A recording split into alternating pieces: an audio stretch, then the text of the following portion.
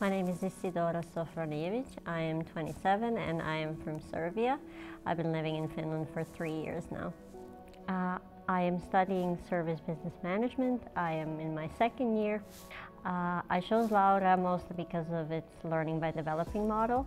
Um, I wanted to join a study program which would allow me to develop practical skills. The most interesting thing about studying in this program has been uh, the relationships that I have made with my classmates and the teachers here at Laurea. I think it's very important that you find yourself in an environment where the people can motivate you and help you learn and develop yourself.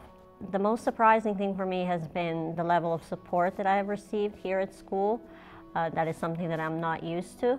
And uh, last winter I participated in uh, this competition with several of my classmates and the school really rallied behind us and provided us with all sorts of uh, support and advice uh, when we were doing this project.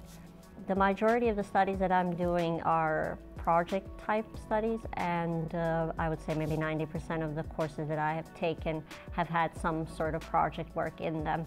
That is something that I prefer as well because I get to interact with my classmates and we also get to do projects for real companies. Uh, the most interesting project that I have done has been uh, the project that we did for food aid organizations here in Espoo, Helsinki and Vantaa.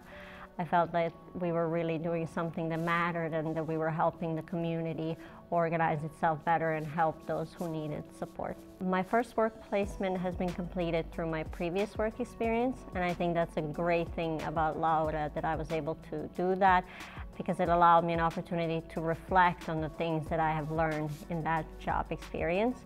Um, I am starting my second placement uh, this winter and it would be um, in customer care. My career goals are mostly centered around project management, uh, but also sales. Um, I think those are my strongest um, fields where I have uh, already some skills and competences that can help me succeed. I would recommend this degree program to the people that want to have a lot of different career options.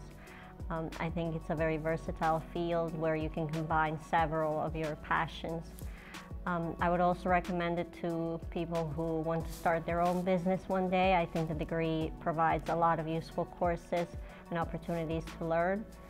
And I would also recommend it to people that are looking to develop their skills in uh, international team working.